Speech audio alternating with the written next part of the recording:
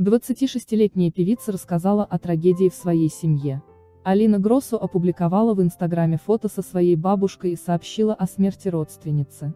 Она рассказала, что Клавдия Ивановна растила ее с пеленок, подключившись к уходу за малышкой, едва Алине исполнилось 9 дней. Вклад бабушки в воспитание будущей звезды оказался неоценимым. Научила меня ходить, говорить и немножко петь. Гроссу пообещала сохранить память о бабушке в своем сердце до конца жизни, оставила в моем сердце невероятный след.